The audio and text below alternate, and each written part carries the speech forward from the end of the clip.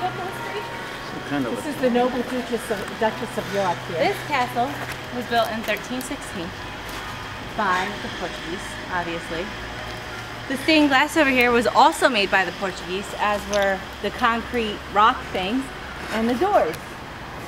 It was used to defend against the French, the Italians, the Spaniards, the Greek, everybody, because oh everyone wanted to be as good as the Portuguese. What about the Americans?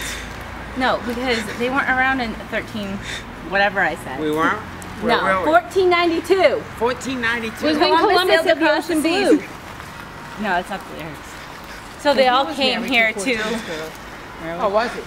Canada, Was Columbus in- oh, whatever we right. are. Guimarães. Sending on the Guimarães. Because it was declared as the capital by the king of Portugal that I just learned in the car. And so they all came up and they were surrounding with their bows and arrows, arrows, and their horses and their ox and carts and things like that. And they started attacking.